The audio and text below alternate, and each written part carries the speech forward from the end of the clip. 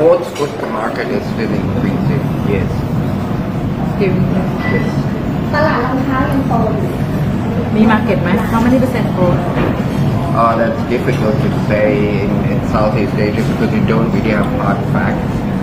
But if you can see in terms of the brands that are growing, it's clearly the uh, athletic footwear brands.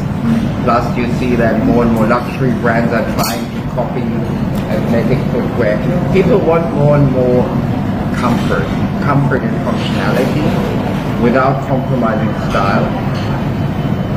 So คำถามคือมีตัวเลขไหมคะว่าตลาดของรองเท้าโตกี่เปอร์เซ็นต์คำตอบคือค่อนข้างยากที่จะ define ว่ากี่เปอร์เซ็นต์แต่สิ่งที่เรามองเห็นได้คือจากการโตของตลาดที่เรามองเห็นได้ว่า แม้แต่แบรนด์ที่เป็นแฟชั่นก็ยังมีการที่เอารองเท้าตัวสปอร์ตเข้าไปอยู่ในคอลเลคชันของเขาเพราะว่าลูกค้าในสมัยนี้คือนอกเหนือไปจากเรื่องของแฟชั่นของของแล้วสิ่งที่เขามองคือฝั่งชินาลิตี้ด้วย The moment that the luxury brand started to have the sport footwear in the brand is it actually impact our business Not at all.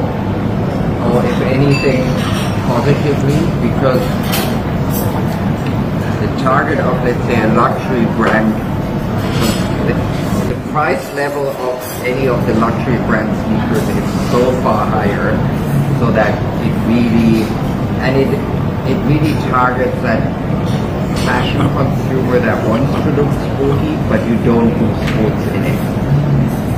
But overall, it's made sports shoes more desirable Yeah, simply by being adopted on the on the catwalks everywhere.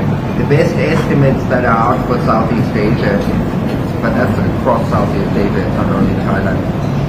It's sporting goods, apparel, accessories, and footwear is estimated to be just under two billion US dollars. billion US Yeah.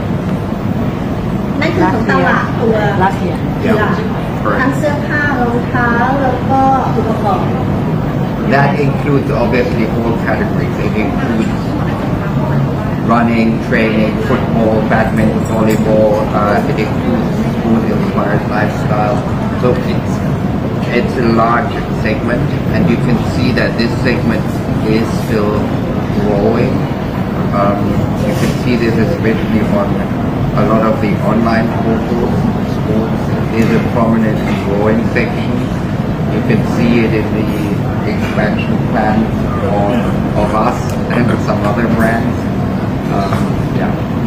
The largest market is always, it's a little bit difficult to say because it depends on, take Indonesia. Indonesia is by population. Yeah. But a lot of it is towards the local entry price point. That's not where we compete. Yeah. In Thailand, no? In Thailand, it's it's uh it's around just over twenty percent.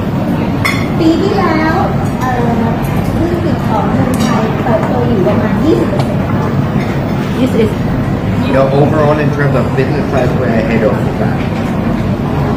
คำถามคือ 20%นั้น